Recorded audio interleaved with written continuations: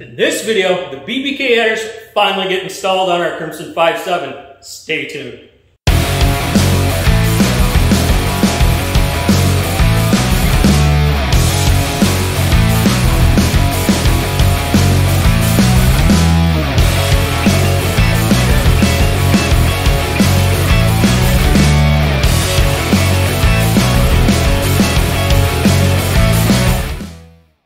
Welcome back and or to the channel. Today we have to go through and I want to show the process of how I got these BBK headers installed. Now I did have some health concerns that came up but due to the issues that I've had with my health I've had to shift some videos around. I haven't been able to put any out for almost a month now and I'll get into explaining that in the next video but today I want to show how I got the BBK headers installed how we're almost fully completed with the install. There's only one slight exhaust leak that we have to fix. We're gonna work on that. Uh, we may not get to it in this video, but we're going to show kind of what we need to do to fix that. What happened was when they put the stock manifold back on, they didn't loosen up the, pad, the driver's side, so it pinched the flange and caused a bad spot in that flange. Now in order to fix it, we're gonna have to pull both flanges apart again Drop our Y pipe down, slowly bend in that spot that's out, clamp everything back together and hopefully not have a bad exhaust leak. So that's the process that we're gonna go through. Before the end of this video, we will be doing a cold start on these BBKs. And I was impressed by the sound, but it didn't change too much in volume from what I already had. So if you're looking to add a lot of more sound to it, your shorties aren't gonna give you that. You'll get that more out of your long tube headers. You also get that out of more of a dual exhaust setup. But the way we were going, I want to keep this thing as close to streetable and stockable as possible. I don't want to get it to where the thing is just completely unusable. I mean, right now it's been sitting in here under repair and I don't like it because I want to get out and drive it. So our goal is this spring to get this out and we have some more stuff coming for the channel that involve this needing to be done. I'm working with a few people. We'll see what happens, what we can get worked out. Hopefully I got some good stuff coming up for the channel. Some stuff that, direction that we may be taking it. And I will talk about that in the next few videos, where we're going, how we got to where we are, and what our future plans are for the channel. So let's get back underneath this thing. I want to show you kind of where we're at. We're going to take it side by side. That way you can see the driver's side and the passenger side, how we got them in, and how we had to get at the bolts in order to get them in. So let me get set up. Now this is the passenger side that we're talking about right here. This is the one that went in. We were starting to get this one to drop into place in the last video. We were able to get it dropped in, get the gaskets put on it, and put our sealant on it. That sealant allows us to help seal up that gasket so we know that it doesn't leak. How we had to get at most of the bolts on this is the top bolts we were able to access from up top up here the bottom ones we had to lay on a creeper underneath the truck. And we had to roll in and reach our arms all the way up underneath to get at these bolts.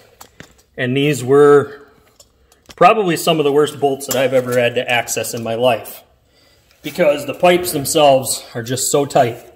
A lot of them you have to put in by finger tight only because you have to snake your hand in to twist the bolts in until they're bottomed out. So I would suggest anyone that wants to do BBK headers or any shorty headers, it doesn't matter the brand, you might want to chase your threads with the proper thread tap so that your bolts will thread in loosely by hand almost all the way to the bottom.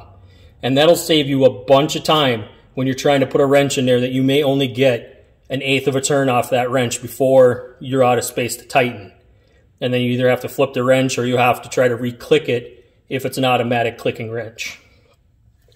But a lot of these went in fairly decent. Like I said, there were two that were just an absolute bear. Um, the one that goes right underneath here around that curled pipe. There's one bolt that sits behind there. There was another one right behind the main collector here. That one was a real bear to get at. Uh, up front here, we were able to access both of those bottom ones from underneath with a wrench. And it went in pretty simple that way. The tops obviously were fairly easy with just a normal wrench. We were able to get them in. Now back here on the collector, this is where I said we have some problems. Because our collector has a gap right up along this top edge that's not sealing tight. And we've tried to do a few different things to get this to seal up. The only thing that we can think of now is that we're going to have to take this loose with a friend of mine. Um, take this all apart, bend the top part of that flange in to bend that bell so that it goes back into place. If we do it wrong, we're going to wreck that bell and then the bell is no longer good.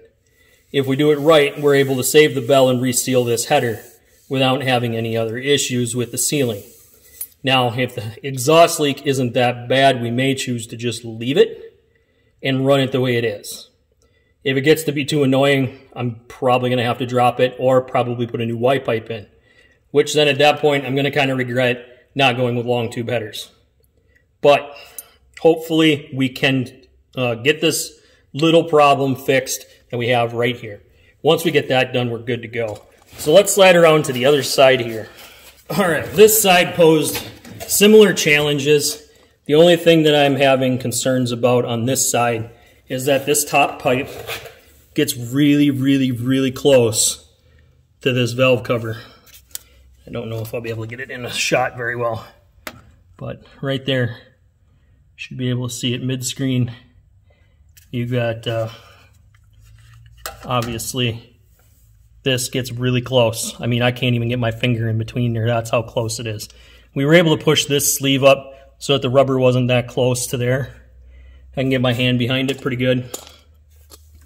And all this was, was just a, a simple uh, tapered shaft for the steering column. So it really didn't have a need to be on there. It's not going to make that big of an impact as far as how the vehicle is going to run or drive. But this side had its own challenges with the collector. When we went to put this side in, the collector pipe had basically become such a pain to get at, and the stock bolts did not work. What I wound up having to do was go get parts or bolts from a hardware store, and I had to put the bolts in by hand, barely got the bottom one threaded without cross-threading. Let's see if I can reach into the screen here and show you. But this one here barely started. It's currently out to the end of the threads, but that's as far as it went. Now I did use metal locking nuts. I did not use a nylon lock nut because the nylon will melt. But we got this side to seal up very well. This one went in straight, the collector went in straight, everything mated up, the bell mated with the surface. We got the top and bottom bolts in like I said, the only thing is, is we couldn't use the stock bolts on this one. The stock bolts just wouldn't allow us to get that collector on there. We couldn't get our pieces put together and we couldn't get the collar slid back up into place. So we opted to just use some normal bolts with locking metal lock nuts. And it'll work really good for what we're doing. I won't have too many issues with that going forward in the future. It's probably the best way to do it if you're not using all the stock hardware is to make sure that you use metal lock stuff. That way, it's not going to come loose unless you want it to come loose. And as long as you've got the bolts right, you won't have to worry about tearing or bending or pulling a pipe apart. But you got to make sure that you get these tight. If these collectors are not tight, you're going to have air leaks and you're going to throw check engine lights. So it's got to be in there, it's got to be straight, and it's got to be tight. When we went to put the bolts in on the bottom of this one, this was an absolute nightmare because the bottom three, all the way across the bottom, were so hard to get to that we literally had to reach up with our fingers like this and twist the bolt like this in order to get it to go in. That was the only way we could do those bottom three. It was so tight in there, there was just no room to work. And looking at what they've done here, the only regret that I have is I wish that they would have brought this pipe over just a little bit farther to the steering column, knowing that this isn't as crucial if it gets warm as that valve cover. That valve cover is going to be a concern in the future and I'm going to have to keep an eye on it. But that was basically how we went about getting them in. Now, when we dropped them in, I showed you at the end of the last video kind of how to drop in the other header. The header had dropped in up over the top like this, folded level with the motor, and then drop straight in.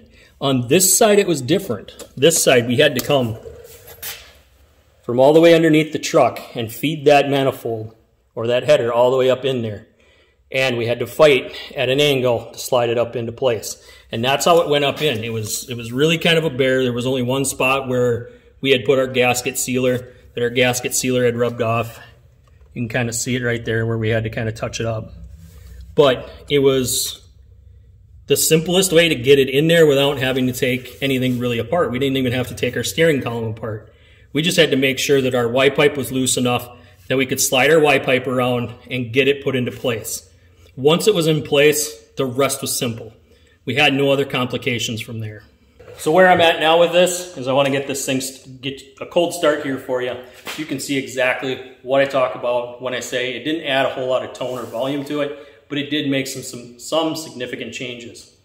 Uh, that'll probably wrap it up for this video. So this cold start's probably going to be the end of it here. But like I said, in the next few videos, I got a lot coming up that explain kind of where I've been, problems that I've been having. You probably hear it in my voice, kind of what's been going on. It pertains to stuff that I've been dealing with. If I get a chance, I'm going to go ahead and link um, the last video down below uh, as far as us taking the headers apart. And if I get a chance somewhere in this video, probably closer to the beginning, I'm going to go ahead and link down below um, one of the videos that I talked about a health concern that I had two, three months ago. Uh, that issue crept up pretty bad. I wound up having to have surgery on it. So let's go ahead and get this cold start going.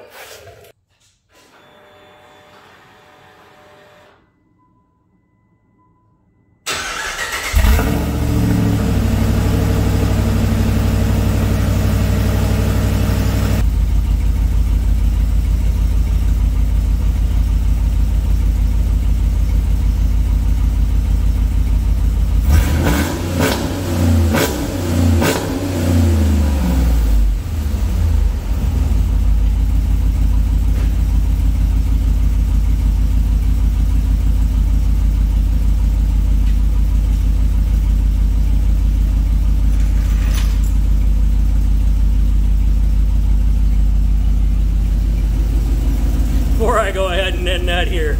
I want to show you what I'm talking about by that exhaust leak that we got to fix with that valve because you can hear it pretty clear up here.